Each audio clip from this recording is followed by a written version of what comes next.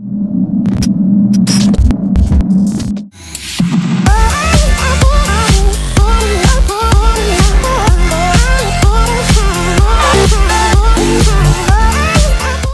hay gente? Bienvenidos a un video más del canal. En esta ocasión les mostraré dos regates que ha hecho Lionel Messi en partidos oficiales con el Barcelona.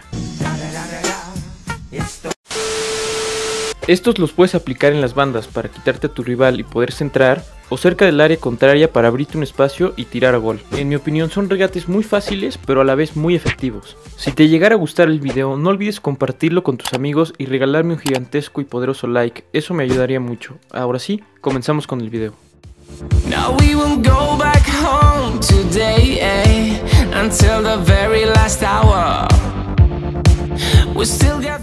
Con el balón fijo en el suelo, comienza haciendo una mague con tu pie dominante hacia tu perfil fuerte.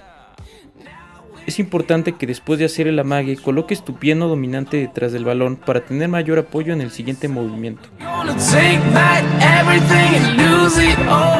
Ahora golpea ligeramente el balón con la parte interna de tu pie dominante en dirección a tu perfil débil. Después pasa tu otro pie hacia adelante para golpearlo con la parte interna y de esta manera llevarte a tu rival.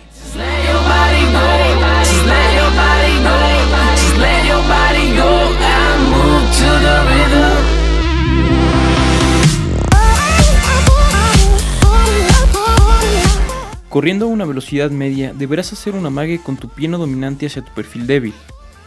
Este amague lo tendrás que hacer mucho más marcado y exagerado para que el rival crea que te irás corriendo para esa dirección. Para lograrlo tendrás que bajar un poco tu centro de gravedad cuando hagas el amague y al mismo tiempo tendrás que tirar un poco tu hombro y parte del cuerpo hacia tu perfil débil para hacer la finta. Ahora golpea el balón con el empeine de tu pie dominante en diagonal hacia tu perfil fuerte para cambiarle la dirección a la jugada y llevarte a tu rival.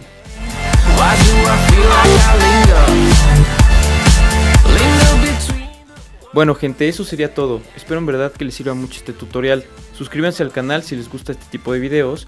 Y no olviden seguirme en mis redes sociales ya que ahí subo diferente contenido y activar la campanita de las notificaciones de YouTube para que les avisen cuando suba nuevo video. Muchas gracias por todo su apoyo gente, saludos.